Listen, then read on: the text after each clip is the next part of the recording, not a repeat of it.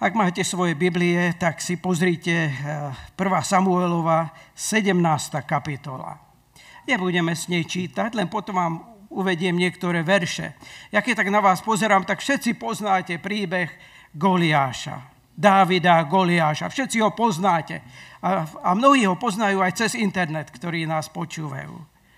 Je vás všetkých Pán Boh požehná tam, kde ste a keď budete počuť Božie slovo.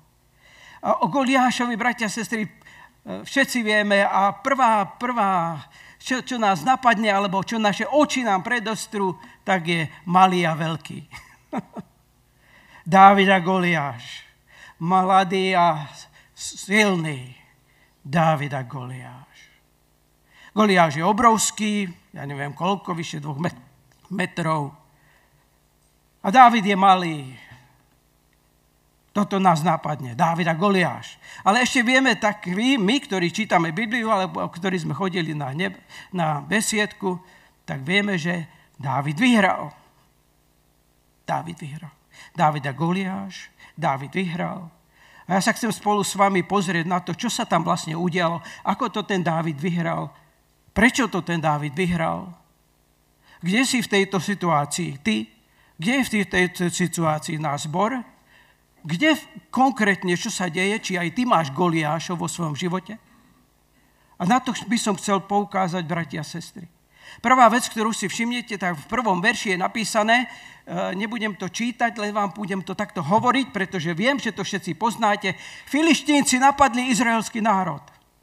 Zoradili sa, filištínske vojsko sa zoradilo okolo Izraela a filištínsky bojovníci vystúpili proti Izraelovi. Saul pozval vojsko celého Izraela, aby išlo bojovať, predsa musíme ísť chrániť svoj národ. A tak Saul zo, vezme svoj izraelský národ a ide bojovať proti filištíncom. Prvá vec, ktorú si tu treba uvedomiť, že tu je národ, ktorý je pohanský národ, ktorý verí v mnohobožstvo, ktorý odmieta jediného Boha, pána neba i zeme, Boha Abraháma, Izáka a Jakoba, nášho Boha, ktorého i my veríme, ktorého sme uverili. Tento národ odmieta a chce zničiť izraelský národ. A kto je tu izraelský národ? Toto si musíme uvedomiť, aby sme lepšie chápali Dávida Goliáš, aby sme nevideli len malý a veľký. Čo je tu Izrael? Izrael je vyvolený národ, vyvolený národ Bohom, ktorý mu Boh povedal, ty budeš mojim dielom, skrze teba požehnám všetky národy. Ty, v tebe bude požehnané každé semeno a poukazuje sa na meno pána Ježiša Krista. Pán Ježiš Kristus príde. Spasí. Izrael, ty si môj, teba som si vyvolil, si mojim dielom. Brat, sestra, ak si ty prijal pána Ježiša Krista, si dielom Kristovým, spasil ťa, si jeho dieťaťom. Tak si predstav, môj brat a sestra, že ty žiješ tiež v duchovnom svete. V duchovnom svete, ktorý bude bojovať proti tebe, lebo si jeho dieťa. Tuto vidíme fyzicky. Filištínci vyšli a napadli Izrael. Idú ho zajať. Saul zmobiluje vojsko, ideme na obranu, ideme brániť. Bratia, sestry, a tak čítame a čítame a čítame, že išli tam, ale nič sa nedeje. Zrazu z vojska filištínskeho vychádza obrovský muž, ktorý má úžasnú veľkosť.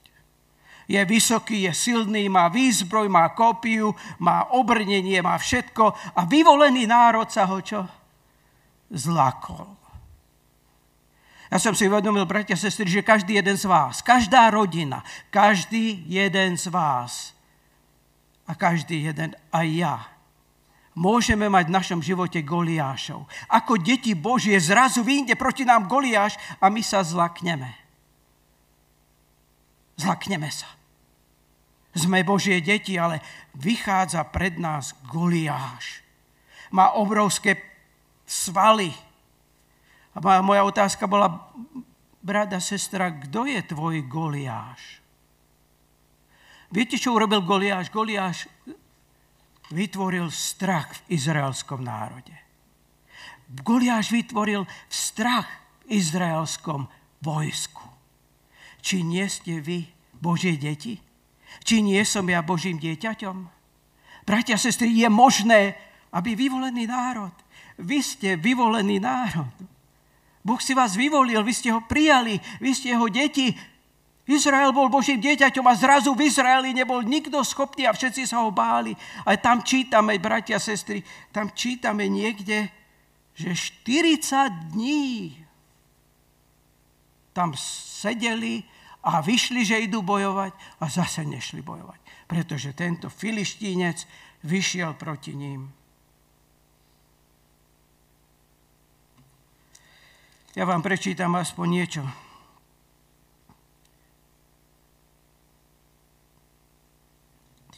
Filištínci zobrali svoj vojska do boja a zhromaždili sa pri sochu proti Izraelcom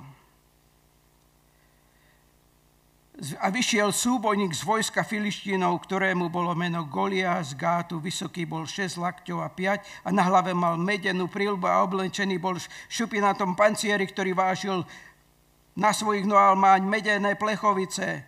Drevo jeho kopie bolo ako tlácky náboj. A postaviac sa volal na bojové rady Izraele, vravel, na čo ste vyšli postaviť sa do boja? Či nie som ja Filištín a vy služobníci Saulovi? Vyberte si muža, ktorý by išiel ku mne, ak bude môcť bojovať so mnou, zabije ma. Vtedy vám bude za sluhou a jestli ja jeho premôžem, zabijem ho a budete vy nám za sluhou a budete nám slúžiť. Váš Goliáš, bratia sestry, zastraší vás a vy zrazu zistíte, ja nie som služobníkom Kristovým, ale som služobníkom diabla. Mám strach. Bojím sa. Izrael sa zmrazil. Predstavte si, nikto. Je možné, aby sa církev zmrazila? Je možné, aby církev, aby, aby náš zbor zrazu sa zlakol, pretože kto je tvoj Goliáš? Kto je tvoj Goliáš? Čo môže spôsobiť Goliáš? Nemám dosť peňazí. To je tvoj Goliáš. Nemám dobré zamestnanie. To je tvoj Goliáš. Situácia u nás je zlá. To je tvoj Goliáš. Strach, strach, strach, strach. Ty, vyvolené dieťa Bože, máš strach. Viete o tom, že Pán Ježiš dobre vie, že budeme mať strach. Ja vás neobvinujem zo strachu, bratia, sestry. Strach je prirodzený, strach je normálny. Pán Boh o tom vie, že budeme mať strach. Pán Ježiš hovorí, nebojte sa, nebojte sa, nebojte sa. Je veľmi veľakrát napísané v Biblii. Nebojte sa, nebojte sa, nebojte sa, pretože Ježiš vie, že vy budete mať, ja budem mať v svojom živote Goliášov, ktorý mi bude, viete čo brániť? Brániť mi bude, aby dielo Bože išlo ďalej. Bude brániť. Bude vám brániť, aby dielo Bože išlo ďalej a vytvorí vám Goliáša. Pane, veď pozri. Ja na neho nemám. Všetci Izraelci boli menší než Goliáš a nikto na neho nemá. Je to hrozné, keď církev dopadne do takého stavu, kedy si uvedomú, že ja nemám silu proti hriechu. Tam je napísané, zotročím vás, budete mi slúžiť. Pán Ježiš hovorí, nie, ja som si vás vyvolil. Ja mám s vami svoj cieľ. Ja mám cieľ, aby ste išli a zvestovali evanelium. Aby ste mohli ísť a zvestovať evanelium, potrebujete byť slobodní, potrebujete žiť. Potrebujete sa hýbať, potrebujete peniaze, potrebujete to, potrebujete to, potrebujete to, ale Satan príde a povie, nemáš na to. Pozri sa, máš problém. Máš problém. Je tu niečo úžasné, bratia a sestry, a toto úžasné, ktoré zmeniť môže váš problém, v problém v zbore, v problém v štáte, v problém v cirkvi, je poslušnosť. Tam je niečo tak krátko, máličko napísané, bratia, sestry. Tak krátko a máličko napísané, kde sa to všetko zmenilo.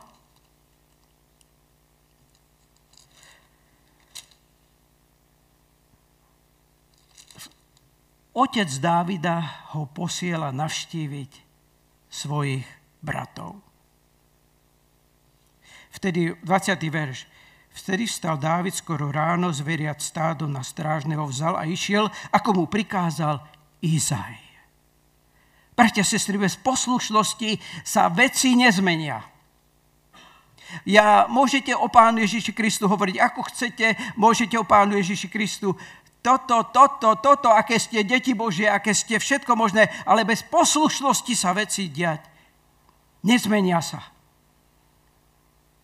Tu je jedna maličká vec, ktorá zmenila celý dej, dej Izraela. A to je poslušnosť Dávidova. Poslušnosť Dávidova. Všetci vieme, všetci si len dáme oko. Malý, veľký Dávid vyhral. Ale prečo vyhral? Pretože bol poslušný i svojmu otcovi. A jeho otec povedal, choď a navštív svojich bratov. Poslušnosť tam je.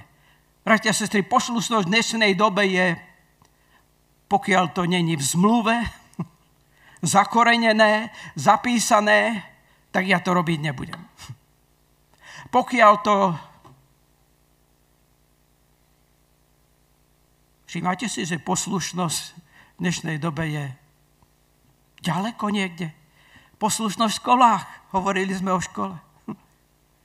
Poslušnosť starých rodičov, poslušnosť vnúkov k starým rodičom, poslušnosť detí k rodičom. Sláva Bohu, keď máte deti, ktoré si vážia rodičov, lebo to je s požehnaním. Bratia, sestry, viete, čo je opak neposlušnosti? poslušnosti neposlušnosť. Ak si dieťa neváži rodičov, v Biblii je napísané, ak si dieťa váži rodičov, je to na požehnanie. Viete, čo je opak požehnania? Prekliatie. Ak pán dá, to si budeme hovoriť v auguste. Dávid ide, Dávid ide, poslúcha svojho otca, ide a zrazu vidí situáciu, aká tam je. Celý národ aj s kráľom zabudol na Boha, na zaslúbenie, ktoré mu Boh dal a spí a bojí sa a strachuje.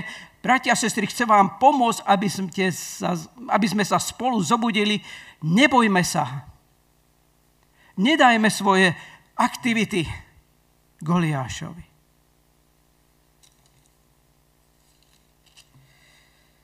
Prečítam vám 26. verš tento filištínec hanoby Izraela. Dávid si uvedomí, pošpiňuje moju církev, pošpiňuje môj zbor, môj vyvolený národ, mojich bratov a sestry. My si tiež tak môžeme povedať. Tento Goliáš, to je, to je tu duchovný boj. Na to riekol Dávid mužom, 26. verš. Na to riekol Dávid mužom, ktorí stáli pri ňom a povedal, čože sa to učiní mužovi, ktorý zabíja tohoto filištína a sníme, čo? Pohanu z Izraela. Pohanu z Izraela. Izraelský Boh je jediný Boh, Pán neba i zeme. Izrael ho má reprezentovať tu na zemi a Izrael hambu robí Bohu. A Dávid, Poslušnosť to zmenila. Dávidová poslušnosť. Tento človek robí hambu Izraelu. Ponižuje ho. Sníme pohanu zren. Kto sníme pohanu z Izraela? Kto sníme tvoju pohanu, môj brat a sestra? A pre, aká to bola pohana? Aká to bolo zahambenie? No zahambenie, že nič nerobili.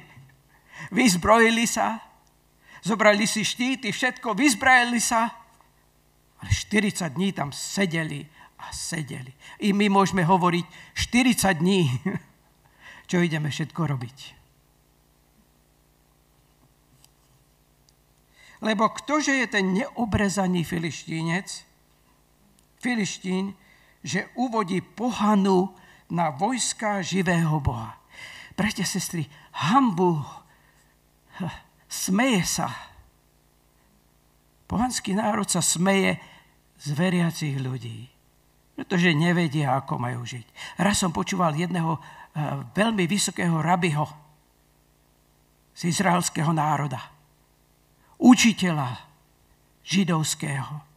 A ten povedal, je na čase, je na čase, aby izraelskí, žid, izraelskí ľudia žili tak, ako vyvolený národ. On povedal, i teraz je na čase, aby izraelský národ žil tak, aby všetci ľudia videli, že je izraelský vyvolený národ. Pohanu živého Boha. A ľud mu odpovedal tie isté slova a riekol, áno, tak to je. A David riekol Saulovi, nech sa, a tak príde David k Saulovi a Saul na neho pozre a povie, ty, ty, poprvé nemáš výzbroj, nemáš výcvik, čo vieš ty o Bohu, o, o, o boji? Čo vieš ty o boji? Nikto nevedel, čo je v pozadí, že tam je duchovný boj. A čo ty, milí brada, sestra, keď zrazu peniaze ti chýbajú, zrazu okolnosti, zrazu, zrazu deti, zrazu sa ti rodina rozpadá, zrazu všetko je na figu, zrazu je zle. Či vidíš ty za tým, že je tam duchovný boj? Pán Ježiš to jasne povedal, že my budeme prechádzať ťažkosťami. Jedine Dávid tu prichádza, niekedy niekto musí prísť zvonka, lebo všetci tí znútra si už zvykli. Už 40 dní chodia bratia a sestry a nič nerobia. Boja sa. My máme skúsenosti s týmto ľudí, človekom. Niekedy musí niekto prísť zvonku, aby, aby nebol ovplyvnený tými, ktorí tam sú. Ako poviem, že ovplyvnený? Bol ovplyvnený? Ovplyvňovali ho? No prvého ovplyvňovali jeho bratia. Potom ho ovplyvňoval král. Ty? Musíme ísť rýchlejšie. A, tak, a na tom povedal Saul Dávidovi, nebudeš môcť ísť proti tomuto filištínovi, aby si bojoval s ním, lebo ty si iba mládeneček a on je bojovník od svojej mladosti. Ty si len mládeneček. No ale čítame ďalej a a Dávid mu hovorí, vieš čo, ja, ja viem, že vyzerá mlado. Ale ja mám skúsenosť s Bohom. Tam je ten rozdiel, bratia a sestry. Niektorých z vás by ste chceli vyletieť, ja idem bojovať proti Goliášovi. A nemáš žiadnu skúsenosť s Bohom. Vieš, ako dopadneš? Dávi si vezme, Goliáš si vezme palacinkára a buchne ťa po hlave. Saul vyzerá, tento mladík je, je mladík. Som začal pracovať pre Continental spoločnosť a prvé mesiace sme ťažko robili, fyzicky ťažko robili. A robil som mnou jeden černoch, ktorý bol skoro 2 metre vysoký a spolu sme nastúpili naraz. Svaly mal také, dvojmetrový a už spolu robíme 3 dni a sme unavení a ja mu hovorím, ako to zvládaš? A on, ja to nevydržím. A vravím, ty to nevydržíš, veď sa pozri na svoje svaly. Pozri na mňa, ja to nevydržím. A on mi povedal, nedaj sa, nedaj sa, nedaj sa oklamať. Vzozrenie klame. To, čo vidíš, ťa môže oklamať. Svaly. Je tu úžasné, že Dávid ne, nespoliehal na svoje svaly, bratia a sestry. Dávid spoliehal na to, čo Boh povedal v Božom slove. Dávid spoliehal na to, aké skúsenosti mal s Kristom. Nevylete hneď, idem bojovať proti Goliášovi. Krok za krokom majte život s Ježišom. A keď sa na vás pozriem, bratia a sestry, tak eh, vy už všetci môžete vyletieť bojovať proti Goliášovi. Máte skúsenosti, nie? A Dávid odpovedal Saulovi a mohli by sme tam čítať, čo Dávid povedal Saulovi. Vieš čo? Leo napadol, zabil som ho. Medved napadol, ochránil som. Mám skúsenosti s Bohom. Aké? Že Bohu sa oplatí dôverovať. Keď ten Goliáš vystúpi proti vám a ukáže vám, aké má silné svaly, tak si len povedzte ha, ha, ha, ha. Zozrenie môže klamať. Preto si Boh vybral Dávida, toho najmenšieho z celej rodiny. I lva, i medveďa zabil tvoj služobník a ten neobrezaný filištín bude ako jeden z nich, pretože hanobil vojska živého Boha. Bratia, sestry, on vôbec nepozerá, on stále má v mysli hospodina. On hanobí. Ten človek hanobí církev. Ten človek hanobí tento zbor. Ten človek ohovára tento zbor. Beda, beda, beda. Ste ako zrenica v Božom oku. To neprejde len tak. Ja som, Dávid hovorí, som malý, som nič, ale tam je zaslúbenie. Ne, nebudeme sa pri tomto dlho zdržavať. Hospodin, ktorý ma vytrvol z moci lva, z moci medveďa a mi vytrhne z ruky tohto filiščínca. Na to povedal Saul Dávidovi, iď a hospodin bude s tebou. Rýchlo vám poviem, prečítam verš 42. A keď pozrel Filištín a uvidel Dávida, pohrdol ním. O, bratia a sestry. Určite ste v živote zažili, čo znamená pohrdnúť. Pohrdol ním. Ľudia cez komunizmus pohrdali veriacimi ľuďmi.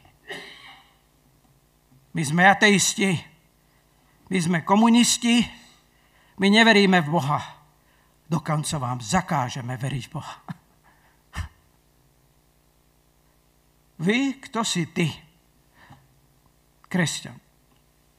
Za opicami. 100 rokov za opicami. Pohrdol. Viete, koľko dneska ľudí pohrdá kresťanmi? I v demokratickom štáte. Nevadí im, že ste veriaci, ale ako náhle chcete žiť ako veriaci, tak kto si ty? Keď potom pozeral Filištín a uvidel Dávida, pohrdol ním, pretože bol iba mládeneček, rumený a krásnej postavy. Iba mládeneček. Saul o ňom nevedel ani výcvik. Aký výcvik? Kde bojoval?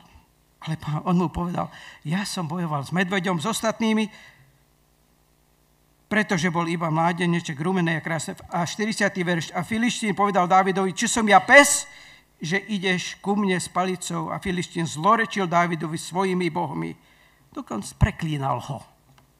Ja ťa preklínam svojimi bohmi. Viete si predstaviť, že i pohan zahrnul si náboženstvo a bohov do svojho boja. Na to riekol Dávid Filištinovi, ty ideš ku mne s mečom a s kopijou a so štítom, ale ja idem k tebe v mene hospodina zástupov, v mene Boha vojsk Izraelových, ktorému si sa rúhal. Dnes ťa vydá hospodin do mojej ruky a zabijem ťa a zotnem tvoju hlavu z teba a dnes vydám z mŕtve tela táboru filišticov nebeským vtákom a zemským šelmám a tak zvedia, a toto je dôležité, moje bratia a sestry, a tak zvedia. Viete, je úžasné, keď zbor sa modlí a Boh odpovie zboru a susedia to vedia. A susedia povedia, prosím ťa, s vami je hospodin, mám tento problém, modlite sa za mňa. A zvedia celá zem, že i má Izrael Boha. Nech zvie celá zem, že tvoja rodina má Boha. Nech zvie, nech pozná celá zem. Celé Slovensko nech pozná, že tí, ktorí veria v Ježiša Krista, majú živého Boha. To by bolo čo? A zviejí celé toto zhromaždenie.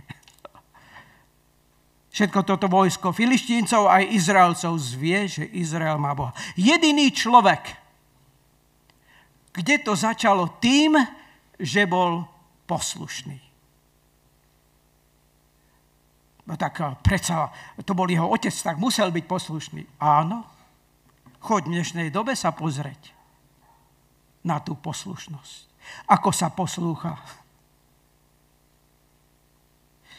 A ideme, ideme rýchlo ďalej, bratia, sestry. Dávid vyhral. Zobral si tri kamienky, alebo päť. Tam to, tam to čítate. Koľko? Päť. Niektorí hovoria, že Goliáš tam mal svojich bratov ešte. A že tie štyri si zobral pre nich, ak by náhodou. A čo my ideme, bratia a sestry? Tak teraz ideme do Belej, do našej Belej. Vezmeme si štyri kamene. No počkaj ty, ktorý mi robíš odpor a ktorý ideš proti tomu, čo hovorí Biblia, tak vezmem si kamene a idem. Nie. Efežanom 6.12. Efežanom 6.12.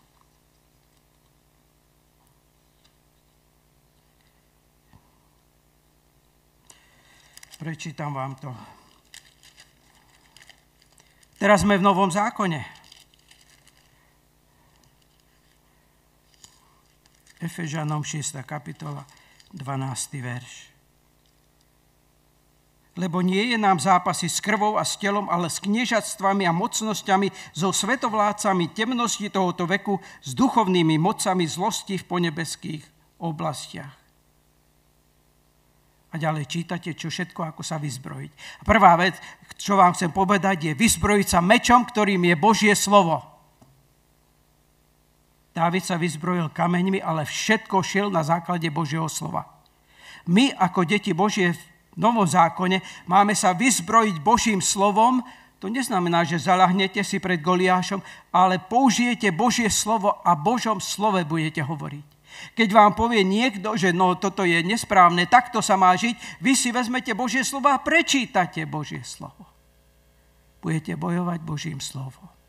Pretože to je duchovná, duchovná sila, proti ktorej bojujete. Čiže v našej dobe, bratia a sestry, kým vezmem Božie slovo a idem bojovať Božím slovom. Božie slovo hovorí, toto je hriech. Len si vezmite 10 Boží prikázaní. Božie slovo hovorí, toto je hriech. Toto je hriech, toto je hriech, toto je hriech.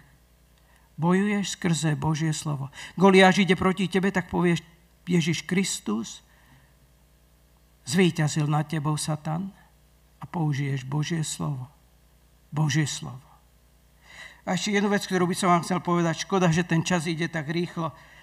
Viete, kto vyhral nad Goliášom? Prečítajte si so mnou. 54. verš. A Dávid vzal hlavu Filištienovú a doniesol ju do Jeruzalema a jeho zbran zložil vo svojom stáne. A 55. verš.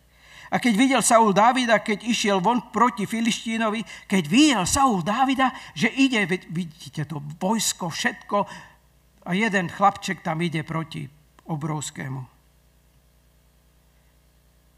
Išiel von proti, povedal Abnerovi, veliteľovi vojska, či je ten mládenec? A vidím tam nejakého chlapca, rozprával som s ním, áno, povedal, že ide bojovať proti, ale tá odvaha a Saul hovorí, či je on. Chcem o ňom vedieť viacej. Kto je to? Abner odpovedal, akože, tvoja duša, akože žije tvoja duša kráľu, neviem. Bratia sestry, poslušnosť a slovo neviem zvíťazilo nad Goliášom. Kto je to? Nepoznáš ho? Najlepšie narábal s mečom v našom vojsku. Už 40 rokov ti slúži. Žiadne také. Kto je to? Neviem. Slovo neviem. Vyhralo. Ten, o ktorom povedali, ktorý mu dali názov neviem, vyhral. Bratia, sestry, aké všetky názvy dávate ľuďom? To je úžasný vedec, to je úžasný kazateľ, to je úžasný teológ, to je úžasný, to je úžasný. Vavrišovo, ty si úžasné. Vavrišovský zbor, ty si úžasný. Viete, kto vyhral nad Goliášom? Neviem. Tu mi hovorí niečo, brati, sestry. Ako on hovorí, Eliáš bol človek ako vy. Mal pochybnosti, ale keď sa modlil Bohu, tak pršalo.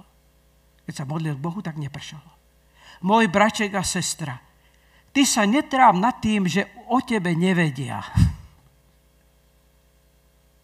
Ty len konaj Božiu vôľu a choď. Pretože to môžeš byť ty, ktorý zabije Goliáša, ktorého sa celý zbor, celá krajina bojí. Neviem. Kto je to? Neviem. Nevieš? Nevieš, no to je syn toho a toho. On bol prokurátor dobrý, on bol milionár, nevieš? On bol športovec dobrý. Kto to je? Neviem. Nechválil sa. Nechválil sa, len viete, čo robil? Dôveroval Bohu. Všetky veci, ktoré povedal Dávid, idem v mene Božom idem bojovať proti tomuto Goliášovi, lebo haní môj národ, ktorý je vyvolený. Ja patrím Bohu. Idem proti tomuto Goliášovi, pretože Ježiš povedal, Boh povedal, budú požehnaní z nás všetci. My nemôžeme byť otrokmi. Idem bojovať. Idem. Kto? Neznámy. Kto je to? Teraz si povedz tvoje meno. Kto je ten brat, ktorý sedí naľavo? Neznámy. Bratia, sestry, ja si vážim všetkých a naozaj je to pravda. Pán Boh hovorí, študujte. Študujte. Izrael trpí pre neznalosť. To je dobré, ako sme počuli, že máme učiteľov, že máme tých, ktorí sa zaujímajú a ktorí nás učia, ktorí sú vedci, ktorí sú všetko. A to je úžasné, že sú, ak sú a žijú podľa Božej vôle. Dávid poukazuje tu na, Ježi, na Boha, Boha Abrahámovho, Izákovo, Jakobovo, Boha Izraela a preto vyhráva. Dávid tu neupoukazuje na seba. To, že zabil medveďa, to, že zabil leva, to, že zabil to, to, že zabil, zabil, zabil a ochránil, musel povedať len Saulovi. Pretože vzozrenie klame. A Saul ani nemal žiadnu inú možnosť. Máte plán B? Viete, sa hovorí, maj plán A, ale maj aj plán B. Ak by ti plán A nevyšiel. Saul nemal plán B. Jednoducho bol tam Goliáš. Plán B nebol. Možno ani ty vo svojom živote nemáš plán B. A plán A zlyháva.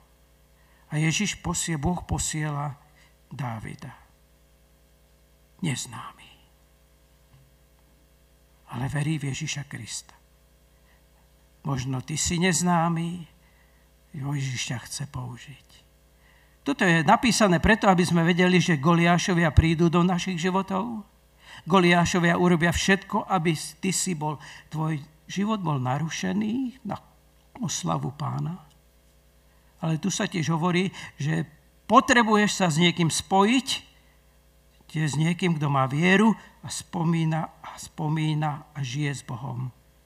A v mene Boha sa postaví proti Goliášovi. A kráľ povedal, spýtaj sa ty, či je to šuhaj.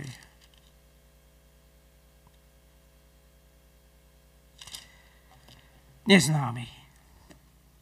Viete, prečo bol úžasný tento neznámy? Poslušnosť. Taká malá vec, ktorá je tam skrytá Dávid išiel za bratmi, pretože ho poslal otec. A viete, kto dal otcovi myšlienku? hospodin. Pretože hospodin vie všetko dopredu. Hospodin dal myšlienku Dávidovhu otcovu. Choď a navštív svojich bratov. Ako sa im darí. Poslušnosť, neznámy, Dávid je, Goliáš je porazený. Postaneme a budeme sa modliť.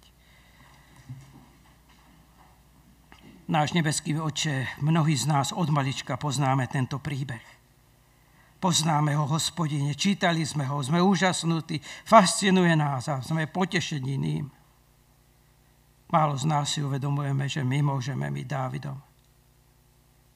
Sme neznámi, pomôž nám, aby sme boli poslušní aby sme čítali Tvoje slovo, pretože inakšie nebudeme mať skúsenosti s Tebou. Pomôž nám, Pane, obnov nás, zmocni nás. Nech ľudia poznajú, že v tomto zbore je hospodin A tak si nás požehnaj, Pane.